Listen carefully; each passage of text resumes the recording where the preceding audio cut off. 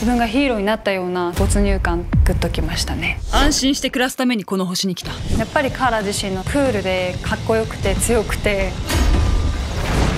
その一方でものすごく繊細な一面を持ち合わせていて儚さみたいなものがある。自分にとってはすごく新鮮なヒーロー像。Do you know what this symbol stands for?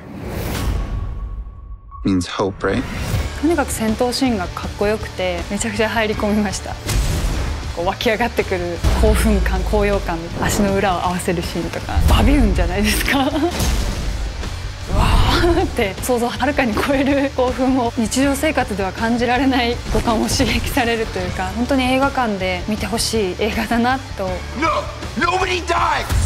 家族愛だったり人間愛だったりっていうのがものすごくこう濃密に描かれていて心をすごい大きく揺さぶられたのもありますし I'm not gonna lose her again. 少ない言葉に込められた本当に蓄積された思いっていうものが伝わってきて結構何度も涙しました。ザ・フラッシュ。感動しました